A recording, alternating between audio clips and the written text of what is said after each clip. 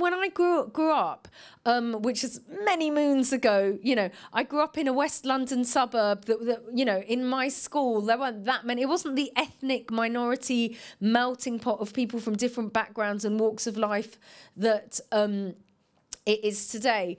And um, I I don't know. I used to feel that books didn't necessarily represent me. Mm. I remember in our local library there was an international section, and there were about three books in the international section.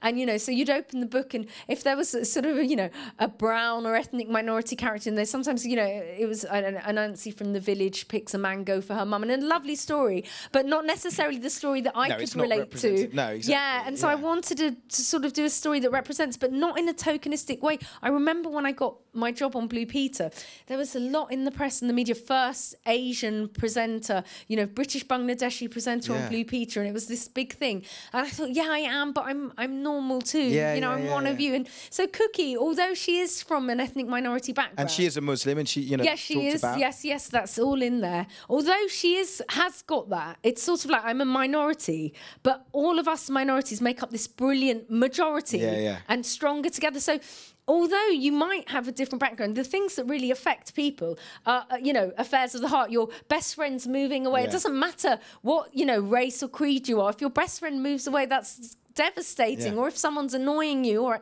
you know, the, it's affairs of the heart that kick through and everything else is set dressing isn't it? Because we're all the same really underneath. Absolutely. as long as we're brought up with the right values and being nice which donald trump obviously missed out on. Yeah. Not to get too political. So no, that's kind of the ethos of the book. This is great